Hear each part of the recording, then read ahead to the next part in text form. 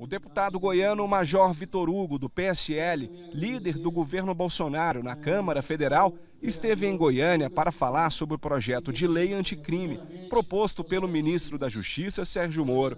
A nova lei quer medidas mais severas contra corrupção, crime organizado e crimes contra a vida. O pacote de lei anticrime e anticorrupção vai ao encontro do, de uma necessidade real e premente da sociedade brasileira de endurecer o sistema, é, mas com racionalidade e razoabilidade, para fazer com que essas duas mazelas que nós vivemos, a questão da criminalidade e também especificamente a questão é, da corrupção, é, haja uma amenização dessa situação caótica que nós vivemos. Entre os principais pontos, o projeto quer regulamentar o cumprimento de pena em segunda instância, alterar o conceito de organização criminosa, elevar as penas de crimes cometidos com armas de fogo, dificultar a soltura de criminosos reincidentes, criar medidas para evitar prescrição, entre outras alterações na lei.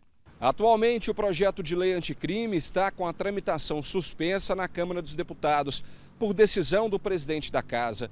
O deputado Rodrigo Maia determinou que fosse criado um grupo de trabalho para analisar o projeto que tem itens parecidos com outros que já estão em tramitação, principalmente um proposto pelo ex-ministro da Justiça e atual ministro do STF, Alexandre de Moraes. O grupo de trabalho que foi criado pelo presidente da Câmara tem um prazo alongado, mas eles podem fazer, e é a nossa esperança, né, que o grupo de trabalho faça essa harmonização é, entre os projetos, as propostas, no mais curto prazo, tendo em vista que é realmente uma ansiedade do povo brasileiro. O deputado admitiu ainda que a prioridade do governo no momento é a reforma da Previdência, que enfrenta resistência entre os deputados federais. A PEC foi apresentada há pouco mais de um mês e dos militares essa semana.